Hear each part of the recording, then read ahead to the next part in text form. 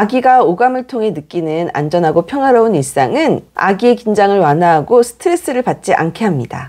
잘 먹고 잘 놀고 편안하게 잠들게 해요. 그리고 이러한 일상이 하루하루 쌓여서 아기의 정서 발달을 이룹니다. 아기는 모든 것을 알고 있어요. 아기가 느끼는 안전은 오롯이 부모로부터 확인하는 거예요. 부모가 언제나 곁에 있는 것, 부모의 목소리가 쾌활한 것, 부모의 기분이 좋은 것, 부모의 표정이 밝은 것. 아기에게 부모는 모든 것의 기준입니다. 부모가 불안함을 표현하거나 아기에게 집중하지 못하고 분주하거나 기분이 좋지 않아서 울거나 말다툼을 해도 그 분위기를 읽어요. 이미 엄마의 뱃속에서부터 엄마의 기분을 다 알고 있는 아기는 말만 못할 뿐이지 모든 것을 다 알고 있습니다. 환경에 반응하고 적응하는 놀라운 감각을 갖고 태어나 주변의 자극을 받아들이는 것이에요. 소리에 귀를 기울이고 아픔을 느낄 수 있으며 누군가의 따뜻한 손길에 매우 행복한 표정을 짓기도 합니다. 생후 2개월부터는 부모의 표정을 읽고 행동을 예측할 수도 있어요. 아기의 오감, 부모를 느껴요. 아기는 오감을 다 가지고 있고 그 중에 가장 발달한 감각이 후각과 미각이에요. 먼저 후각에 대해서 살펴보면 아기는 좋은 냄새와 나쁜 냄새를 구별하고 엄마의 전내음과 엄마의 채취를 다른 사람의 것과 구분합니다. 특히 엄마의 채취와 전내음에 민감하게 반응하며 그 냄새를 기억하고 기분 좋은 일들과 연결시킵니다. 그렇기에 아기들은 엄마 품에 안겼을 때 젖을 먹을 때 비로소 안도하고 편안해해요. 그리고 미각을 살펴보면 아기들은 단맛을 무척 좋아해요. 모유가 달기 때문이에요. 성인들도 단 음식을 먹으면 기분이 좋아지듯이 아기가 먹는 모유의 단맛은 아기의 정서 발달을 돕는다고 알려져 있어요. 또한 아기는 입으로 느끼는 촉각에 매우 민감해요. 아기의 입안에 퍼져 있는 신경은 손끝보다 두 배 많다고 알려져 있거든요. 이를 통해서 아기는 입에 닿는 엄마의 젖과 젖병의 모양, 크기, 질감까지 모두 알아챕니다. 아기들은 세상의 소리를 리듬과 톤으로 감지하는 청력을 지녔어요. 아기들은 낮은 소리보다는 높은 소리를 좋아하기 때문에 아기에게 말할 때는 소곤소곤 이야기하는 것보다는 높은 소리로 말해주는 것이 좋습니다. 높은 음의 여자 목소리, 그 중에서도 뱃속에서 친숙하게 듣던 엄마 목소리에 더욱 민감하게 반응합니다. 아기는 엄마의 감정이 드러난 목소리 운율, 표정, 아기를 아는 손과 품을 매일 느낍니다. 초보 부모는 아기에게 높은 음의 목소리로 대화하는 것을 어색해하지만 아기에게 침묵을 지켜서는 안 돼요. 임신 기간 동안 뱃속의 아기에게 좋은 이야기와 음악을 들려주듯이 태어난 아기에게 대화를 해보세요. 아기들은 사람의 목소리를 정말 좋아하고 그 중에 부모의 목소리를 가장 좋아합니다. 아기의 오감 중에 가장 늦게 발달하는 것은 시각이에요.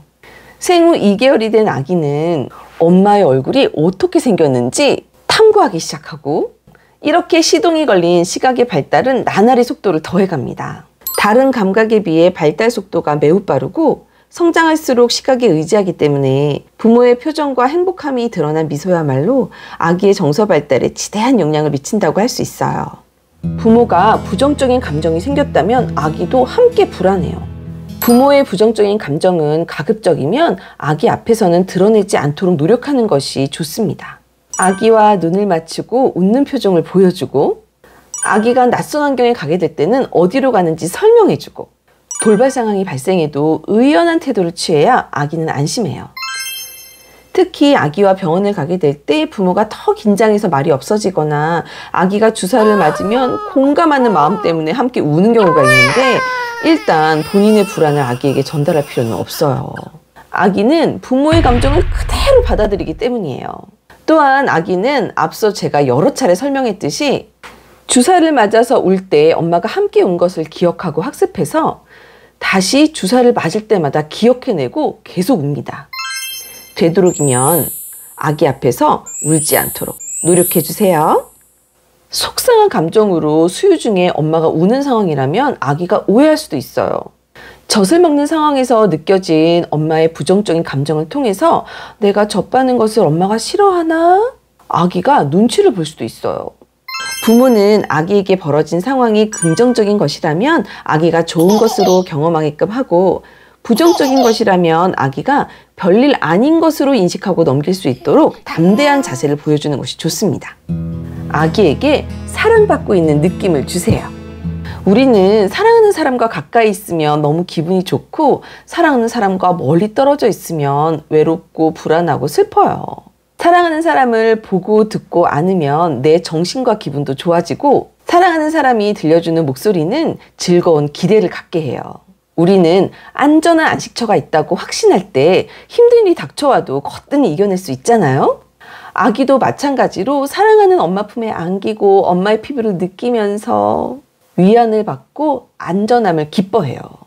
애착을 느낀다는 것은 안전하고 안정되어 있다는 것을 느끼는 것인데 실질적인 엄마의 좋은 반응, 충분한 안기와 보살핌이 애착의 질을 높여요. 아기가 경험하는 몸 전체를 통한 접촉, 특히 몸 표면 전체의 깊은 감각, 부모가 안아줌으로써 생기는 압력들이 운동 감각 발달에 기여할 뿐 아니라 부모의 정서적 친근감으로 점차 내적 세계, 즉 자아 형성이 잘 발달합니다. 나는 정말 사랑받고 있구나. 나는 엄마 아빠에게 매우 소중한 존재구나. 엄마 아빠는 나를 무척 좋아하는구나. 이렇게 느끼게 해주세요. 아기의 신체적 욕구를 해결해 주는 것과 일상에서 부모가 아기와 눈을 맞추고 대화를 하면서 아기로 하여금 부모의 충분한 사랑을 받고 있다고 느끼게 해준다면 안정된 애착 관계를 형성할 수 있습니다. 아기와 부모 간의 긴밀한 관계는 아기의 평생에 중요한 영향을 미치기 때문에 부모는 아기의 반응에 집중하고 아기가 받는 느낌을 세심하게 챙길 필요가 있어요. 무엇보다 사랑이 아기 성장의 핵심이에요. 하나님의 사랑을 전합니다.